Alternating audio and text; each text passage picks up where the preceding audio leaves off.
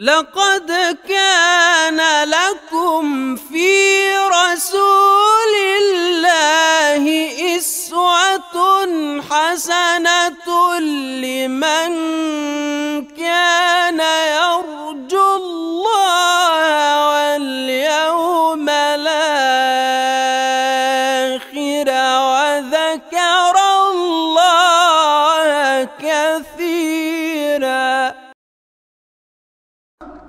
انصرف بعد ذلك إلى متى إلى كتاب الوضوء.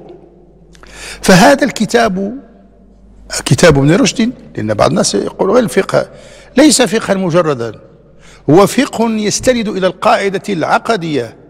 ودائما نحن نسمي العقيدة أصول الدين أصول. أي حينما نتحدث عن عن الدين عن الفقه لا نتحدث عن إنسان لا يؤمن بالله. هذا الذي لا يؤمن بالله لا شأن له بالفقه. ما عنده علاقة بالفقه. الفقه تطبيق لما اقتضته العقيدة. فمن أراد أن يقفز إلى الفقه من غير عقيدة كان يعبث هذا يتكلم على شيء آخر ولكن ماشي على الفقه الإسلامي. الفقه الإسلامي مرتبط بمعتقد. وهذا المعتقد أيضا مرتبط أو يفضي إلى شيء آخر هو اعتماد وسائل للنظر.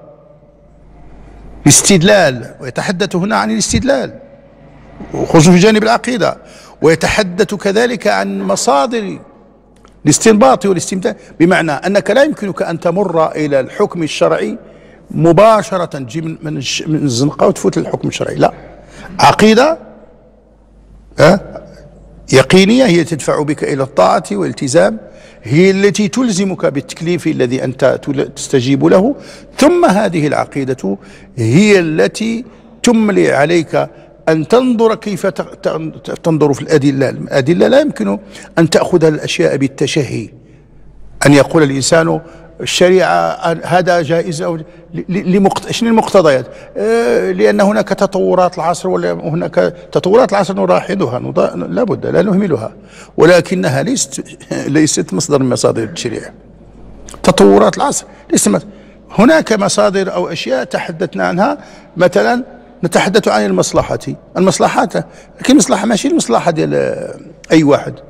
لذلك كان عندنا هناك من كتب في ضوابط المصلحة إذ المصلحة بضوابطها. أما الذي ليس له مصلحة المصلحة التي ليس لها ضوابط شنو هي؟ هي الفوضى. لأن كل من فعل شيء كانت له فيه مصلحة. حتى من اللي قطع الطريق على الناس عنده مصلحة. باش يعيش ولاده يمكن. فما كل مصلحة يمكن أن يقال بها في الشريعة الإسلامية.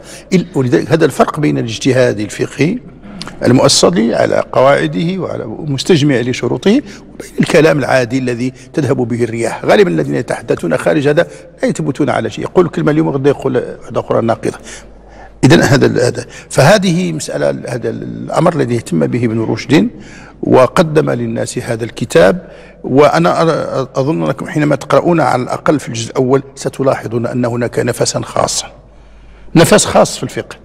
ليس أحكاما عادية هكذا بل له هذه المراحل التي يقول لك لا بد من اهتمام بعقيدة لا بد من الاهتمام بمصادر الاستنباط والت- والتأكد منها والتمكن منها.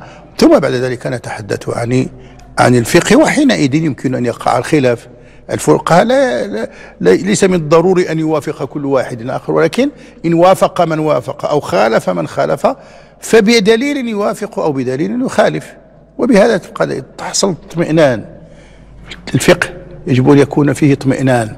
لا يكون فيه هذا النوع من النزق أن تقول شيئا ثم ترجع عنه غدا لتقول للناس كنا نضحك كنا نضحك فقط.